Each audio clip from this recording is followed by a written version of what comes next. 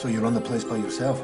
Things are tight. We can't afford to take on anyone else. Welcome to Premiere Scene. I'm Claire Bueno. We are here for Fright Fest Friday, and we kick off the day with the premiere of The Holding.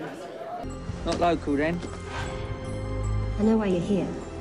You think if you can get me to like you, you can get my mum's knickers. Any chance of that, you think?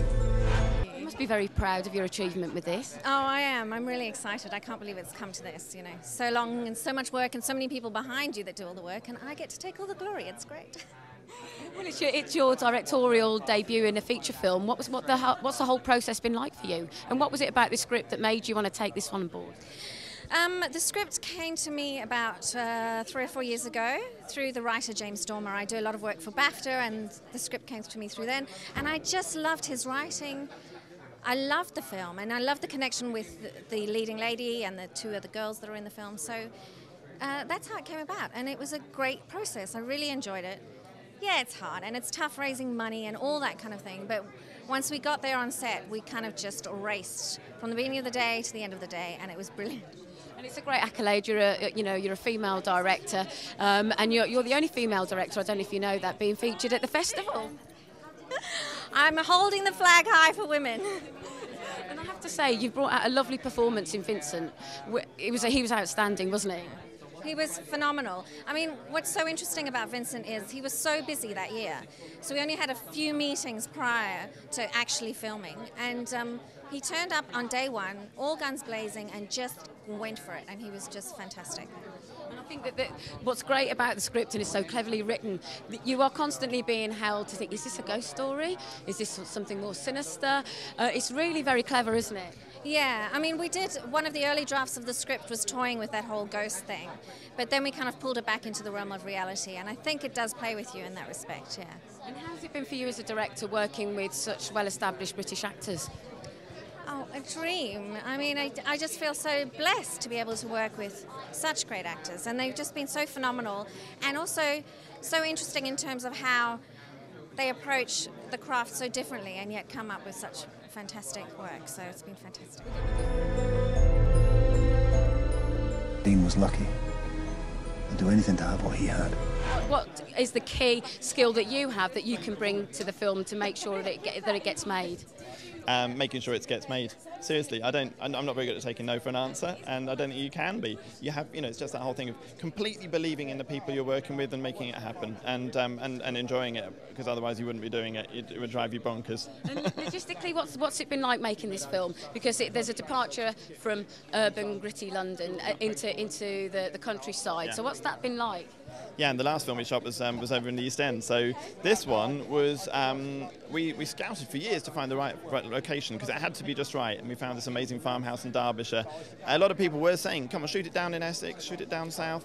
No way, because you absolutely because the location's key, and once everyone when, once the cast walked onto that location, they knew they're in the right place and they felt it, and they, and, and the farm comes to life. Yeah. It's all about making the connection, isn't it? Completely, that's right, and, that, and that's that, that location I think definitely helped us. And you're in, you know where we were in the Peak District in a place called Longnor, lovely little village, uh, wonderful people. I hope they're going to get to see the film at some point. They um, it's, it's where the where the English countryside starts to get really rugged and really dramatic, and it's just a you know like as soon as you take the camera and you've got these beautiful backdrops behind the characters, absolutely stunning. Yeah. And what makes Susan the, the, the, the right director for this for this script? Really? she's she she breathes it. She's all over the script and is is such a sort of um, unique director. I mean, people have started calling her the next Kathryn Bigelow. Let's see what happens. Is it, is it quite a risk for you as a producer, excuse me there, um, to take on a first-time director? I know she's done shorts and things, but uh, but it, this is her first time in a feature. Yeah.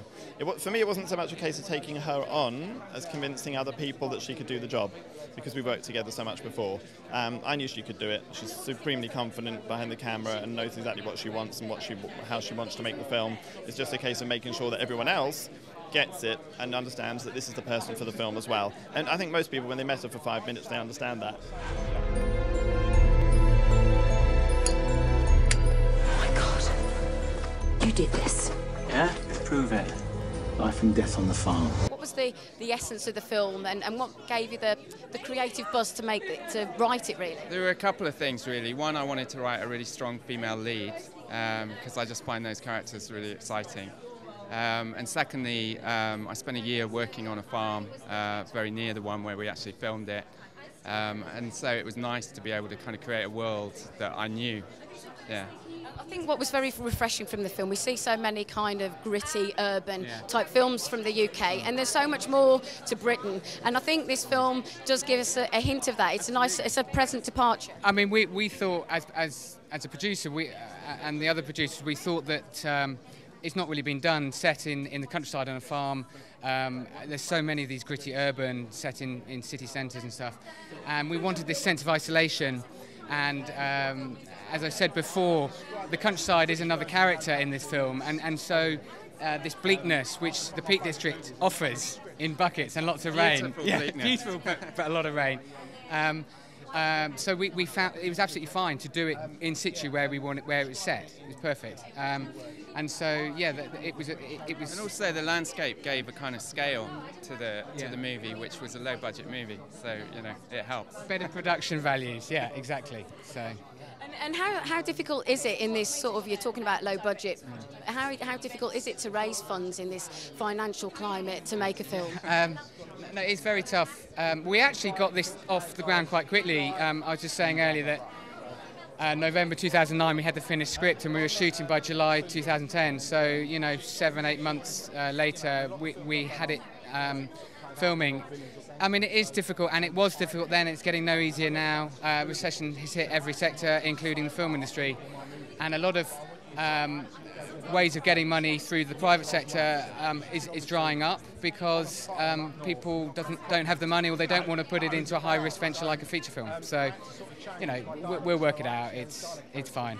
It's fine. And for, and for you as a script writer, James, what's it been like that you know you've cre- created your, your piece that's very personal to you, handing it over to somebody else to, to helm and To- and to ruin it. but, well, but you never know, do you? Um, well, the, because of the way that the project kind of came about. Um, we, we, we're friends for years. We're in business together, so it's not quite like handing over. James is, is an associate producer on this as well, so he kept hold of his baby to a certain extent. It wasn't completely thrown over. And also, I met um, the director through the BAFTA um, Rocliffe Forum. New Writer Forum. So we kind of like together kind of thought, yeah, she'd be a good fit for this. And then she took over. You don't see anything. Ever. You're doing well, going from strength to strength. Yeah, well, it's um, you know, it's the first time at Fright Fest, and I'm glad the um, the movie got into Fright Fest. So I'm, I'm very excited about seeing it on the big screen. I've only seen it on the little monitor now, so yeah, I'm very excited. You, you've got a chance to be behind the scenes and also in front of camera. Uh, explain the processes for you. Which one do you enjoy the most? Do you know what? Everyone asks me the same question, and it's both. You know, I enjoy um, finding scripts. I enjoy developing scripts. I enjoy getting the money, getting the actors, the directors, doing the deals with the distributors. But then I like acting, so you know, it's I, you know. I suppose if you was to ask me what my hobbies were, it'd be acting and filmmaking. So, you know, I get to uh, play every day, so it's good. It's good. And, and how did you become involved in this in this project in particular? Well, funny enough, there's a guy called Matt Button who's um, a set designer, and um, on a few of their movies, and he um, he come he literally rang me up one day and said, "Look, Tel," he said, "I've got this great script that I'm involved with. Do you want to come and have, do you want to read of it?" And I went, "Everyone's got a great script, you know." And I read it and I actually really liked it, and I said, "You know, I wouldn't mind helping you out with that, you know." So um, that's how it all came about, really. It went from there then having a meeting with Susan and Alex and, and George and James, and you know, and here we are. And you, you, A year later. You got it. You, you played quite a, a good character. He's, he's quite key in, in the role. What was that like? Because he's a slight departure from the kind of roles you would normally play. Well, what, what, I mean, the thing for me this year is, you know, what I didn't want to do is just get sort of stereotyped as, oh, you want a hard man or a villain or a cockney, get Terry, you know. So I thought this year I wanted to, you know, last year actually, I thought I want to try some different roles. So this is obviously a thriller, and it's set in the Peak District. So there's not many cockneys that own farms in the Peak District. So um, Susan said, look, she said, you've got to change your appearance. I want you to look dirty, scruffy. I want you to grow a beard. I want you to, you know, go with a dialect coach and neutralise your accent. So I did all that, and um, you know, a lot of people that have seen it sort of went, "Oh, I didn't know you could do that." So it's good for the show reel, and it's also good good for me as an actor, as a body of work. And then I did another film um, called Outside Bet, which is a comedy. Um, with Bob Hoskins and um, Jenny Agutter, and that's coming out for Universal. Sacha directed that, Sacha Bennett, yeah. and um, you know that's going to get a big release in the end of November. Um, so, and I'm playing a womanizer that doesn't get any women in that. So I've played two roles last year, which I don't, and in Anuvahood as well. So I'm playing different things just just to mix it up a bit, really. There's no honey here. Not for you. How did you come across the script? How did you get involved? Um, yeah, basically, I uh, got involved from uh, Terry and uh, read the script and uh, saw this, and I just thought it was absolutely. From the minute I read it, I was glued into it. Sometimes you read scripts and you go, but this had me glued and I was just proud to be part of it. It was just great from start to finish. You know, when you can see something unraveling and you see it in your mind and you see it there, you're like, yes, great. And uh, so it was just great to be part of it, and especially with like actors. I mean, for me, this is my second film. I've done Anuvahood recently, and um, with like David Bradley and Vincent Regan, and these are all well-known actors, and, and also Kierston. And to sit there with these and have such a jump, and also I've done Brighton Rock before, so it's just building and building, and it was just a to, to work with people like this was absolutely phenomenal. I think he's an angel. I'll close you down, Cassie.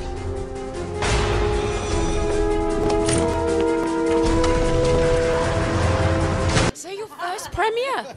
Um, yes, really exciting. And you're here at Fright Fest. What's it been like being in the film? Um, filming it was like really fun, and I'm so glad I got the part in this film.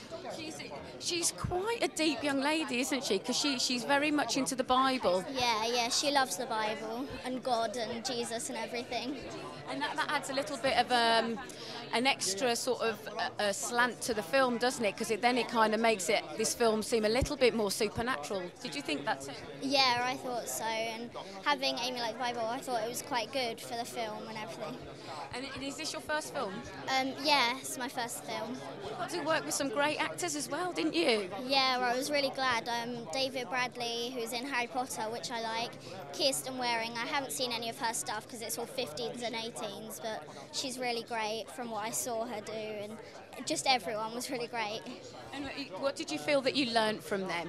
Um, I feel I learnt like to like not go over the top with acting because like in theatre you have to like go over the top whereas film and screen you don't have to so I learnt that. This is quite a departure in character for you. What was it about Cassie that made you want to connect with her to play her? Um, just it's just it's very different for me to be able to play a farmer. So um, when I say to people, you know, casting directors that I'm playing a farmer, I think everyone's like, "You, a farmer?"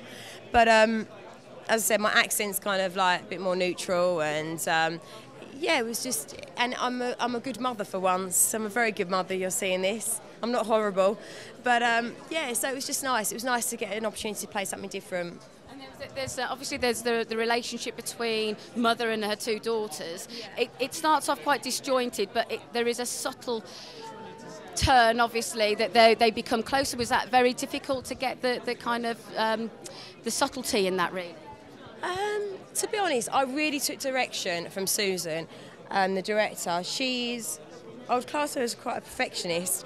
So a lot of the time, a director sort of like leave you to do what you want to do, or you discuss it, or you just do. But she kind of knew exactly what she wanted. Um, so even from kind of paragraph to paragraph in the script. So yeah, I just kind of went with her and put my trust in her.